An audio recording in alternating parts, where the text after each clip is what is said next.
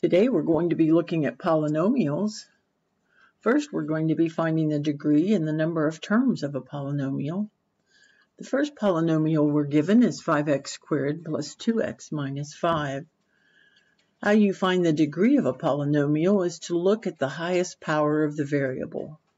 In this case, it's x squared, so the degree of this polynomial is 2.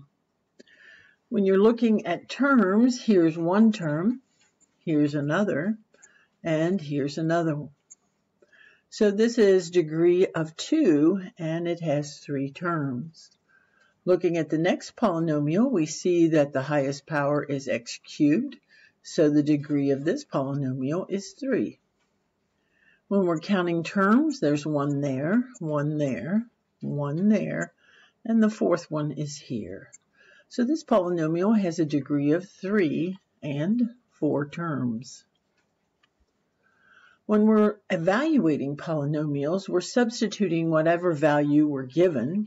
In this case, we're given y equals 4. So we take this polynomial and substitute 4 in for y. 4 squared we know is 16, and 3 times 16 is 48.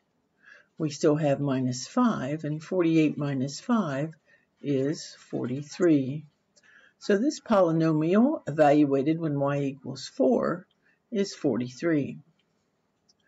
Moving on, the next polynomial is our negative 9x cubed minus x squared plus 4x minus 7. And they want us to evaluate it when x equals 2. Once again, we just substitute that 2 in for x, and we have 2 cubed, which we know is 8, we have a negative 9 times that 8 for negative 72.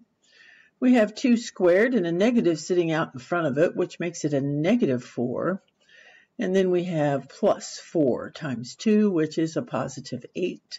And we still have our negative 7.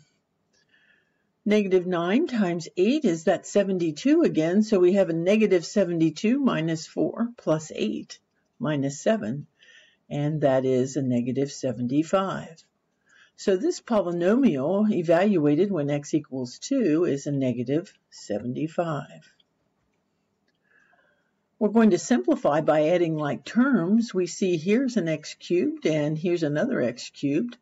This one is a negative 2 and this is a negative 1 for a total of a negative 3x cubed.